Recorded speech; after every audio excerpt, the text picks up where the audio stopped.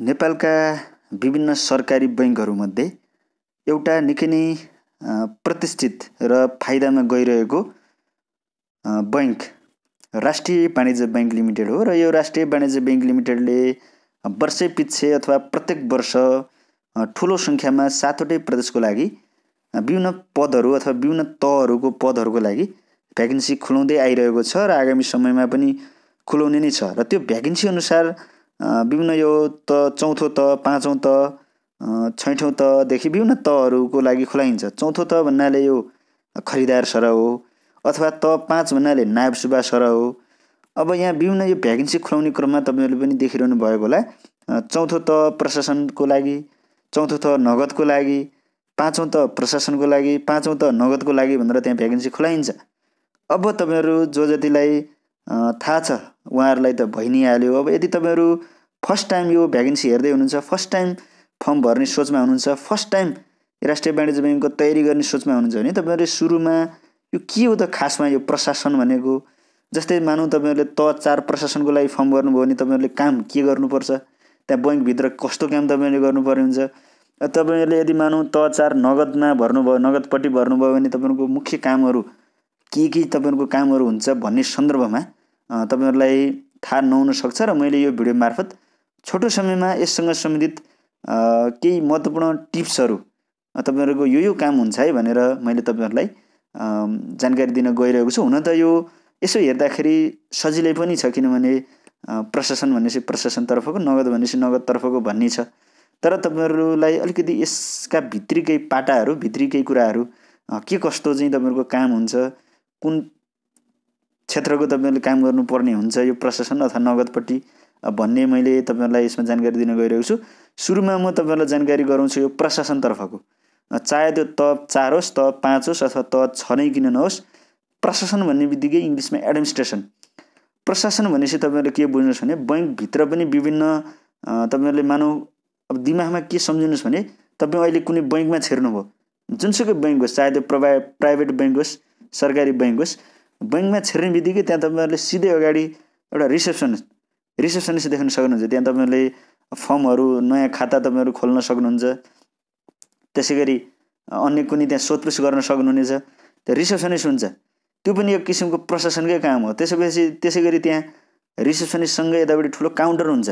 काउन्टरमा तपाईँहरूले चेक दिएर क्यास झिक्न सक्नुहुन्छ विड्र गर्न सक्नुहुन्छ डिपोजिट गर्न सक्नुहुन्छ। त्यो काउन्टर भनेको यता नगदपट्टि गयो। प्रशासन भनेको अर्को के हो भने बैङ्कभित्र विभिन्न तपाईँहरूको यो दर्ता चलानी गर्ने शाखाहरू हुन्छन्। त्यहाँ पनि तपाईँहरू प्रशासन सेवातर्फको कर्मचारीलाई राखिन्छ। कर्जा शाखा हुन्छ तपाईँहरूको कर्जा यो ऋणसँग सम्बन्धित कामहरू गर्नुपर्ने हुन्छ। त्यहाँ पनि यही प्रशासनमै तपाईँहरूले नाम निकाल्नुभयो भने त्यो त्यहाँ पनि तपाईँहरूलाई त्यो तपाईँलाई जिम्मेवारी दिइन्छ। त्यहाँ तपाईँहरूले काम गर्नुपर्ने हुन्छ कर्जामा। त्यसै गरी बैङ्कका विभिन्न त्यहाँभित्र चाहिँ कम्प्युटरसँग सम्बन्धित कामहरू कम्प्युटरमा टाइपिङहरू गर्ने कम्प्युटरसँग सम्बन्धित अथवा समग्रमा भन्नुपर्दाखेरि यो टेलर बैङ्कभित्रको टेलर जुन चाहिँ यो काउन्टर भन्ने हुन्छ काउन्टर त्यो बाहेकका अन्य विभिन्न तपाईँहरूलाई त्यहाँ जिम्मेवारी दिइन्छ यो प्रशासनमा। अब हामी जाउँ नगदतर्फ जाउँ नगद। नगद भन्ने बित्तिकै तपाईँहरूले बुझि पनि सक्नुभयो नगद भन्ने बित्तिकै क्यास। तपाईँहरूको मुख्य काम भनेको अब क्यासको काम हुन्छ। अहिले मैले सुरुमा पनि भनेको थिएँ काउन्टर अथवा टेलर भनिन्छ। तपाईँहरूलाई काउन्टरभित्र तपाईँहरूको काम हुन्छ त्यहाँ। मान्छेले चेक लिएर आउँछ चेक हेर्ने सिग्नेचर मिलेको छ कि छैन डेटहरू ब्यालेन्स पुग्छ कि पुग्दैन सबै हेरेर चेकको पैसा दिने। कोहीले डिपोजिट गरेर आउनुभयो भने क्यासहरू गन्ने त्यो नक्कली नोट छ कि छैन सबै हेर्ने। त्यसरी त्यहाँ कसको खातामा डिपोजिट गर्ने हो त्यो कम्प्युटरमा सफ्टवेयरमा त्यो खाता नम्बर र नाम टाइप गरेर त्यहाँ डिपोजिट गर्ने। यो सबै नगद भन्ने बित्तिकै क्याससँग सम्बन्धित कामहरू। त्यसै गरी त्यहाँ तपाईँको बैङ्कमा क्लियरेन्स भन्ने हुन्छ एउटा विभाग क्लियरेन्स त्यसै गरी रेमिटेन्सका कुराहरू हुन्छन् विदेशबाट आएको पैसाहरू झिक्ने यस्ता यस्ता कुराहरू नगदसँग सम्बन्धित कामहरू तपाईँले गर्नुपर्ने हुन्छ यो नगदमा। अहिले मैले प्रशासनको भने र अहिले नगदको पनि तपाईँहरूले लगभग बुझि नै सक्नुभयो। सरदरमा तपाईँहरूले अहिलेलाई यति बुझ्दा हुन्छ अब तपाईँहरूको नामै निस्केर तपाईँहरूले जागिर खाइसक्दा र जागिर खाने क्रममा तपाईँहरूले अझ बढी प्र्याक्टिकल्ली नै तपाईँहरूले गर्नुहुन्छ। त्यो बेला अझ बढी बुझ्नुहुनेछ। र GK IQ Loksewa plus YouTube च्यानलभित्र अब म तपाईँहरूलाई यो राष्ट्रिय वाणिज्य ब्याङ्क त्यसै गरी अन्य ब्याङ्कसँग सम्बन्धित महत्त्वपूर्ण जानकारी दिन गइरहेको छु।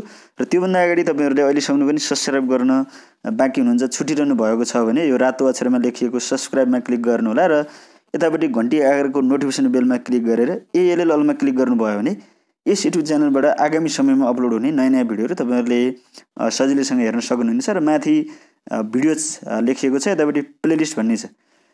प्लेलिस्टमा तपाईँहरूले एउटा फोल्डर भेटाउन सक्नुहुन्छ बैङ्किङ तयारी भन्ने एउटा फोल्डर छ। मैले यहाँ विभिन्न धेरैवटा फोल्डरहरू छ तपाईँहरूले आफूले इच्छाएको भिडियोहरू हेर्न सक्नुहुन्छ। ब्याङ्क लघुवित्त कोअपरेटिभ तयारी भन्ने एउटा फोल्डर छ। यसमा क्लिक गर्नुभयो भने प्रत्येक वर्ष राष्ट्रिय वाणिज्य ब्याङ्क लिमिटेडको भ्याकेन्सीको त्यो भिडियो यहाँबाट भेट हेर्न सक्नुहुनेछ। जस्तै यो दुई हजार अठहत्तर सालको कार्तिक महिनामा खुलेको भ्याकेन्सीको भिडियो यहाँ तपाईँले देख्न सक्नुहुन्छ यसको अनलाइनबाट कसरी फर्म भर्ने त?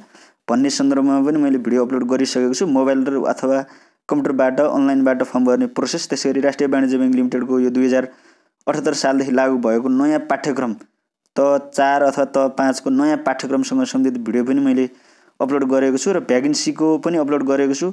विभिन्न बैङ्कको चाहे त्यो प्राइभेट ब्याङ्क गभर्मेन्ट ब्याङ्क त्यसरी सहकारीहरू लघुवित्तहरूको इन्टरभ्यू दिँदाखेरि के के तपाईँलाई सोधिन सकिन्छ? जसै जस्ता कुराहरू समेटेको इन्टरभ्यूको टिप्समूलक भिडियो लघुवित्तसँग सम्बन्धित भिडियोहरू त्यसै गरी योभन्दा अगाडि अघिल्लो सालतिर नेपाल ब्याङ्क लिमिटेडले खुलाएको भ्याकेन्सीका भिडियोहरू त्यो भिडियो हेरेर पनि तपाईँहरूले योग्यताहरू के कस्तो हुँदो रहेछ ब्याङ्कमा जागिर खान भन्ने तपाईँहरूले बुझ्न सक्नुहुन्छ। राष्ट्रिय वाणिज्य ब्याङ्क त्यसरी नेपाल ब्याङ्क लिमिटेड त्यसै गरी नेपाल राष्ट्र ब्याङ्कसँग सम्बन्धित महत्त्वपूर्ण भिडियोहरू यो फोल्डरमा आएर तपाईँहरूले हेर्न सक्नुहुनेछ। भन्दै म यो भिडियो यहीँ टुङ्गन चाहन्छु। हस्त धन्यवाद। नमस्कार।